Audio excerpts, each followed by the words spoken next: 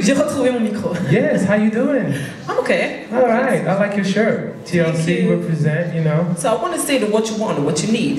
Yeah, you know? uh, it's because uh, là on va aller à Charleroi, Charlie King. Tout à fait. Est-ce qu'il y a des gens de Charleroi dans la salle? un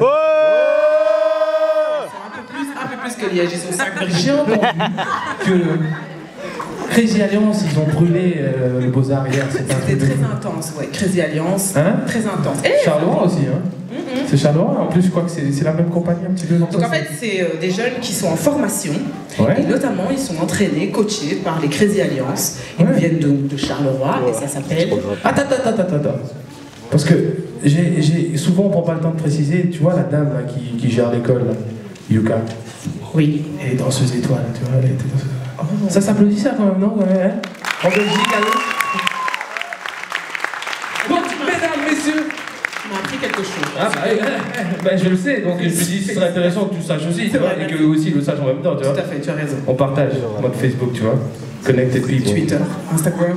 Ladies and gentlemen, make some noise for You Got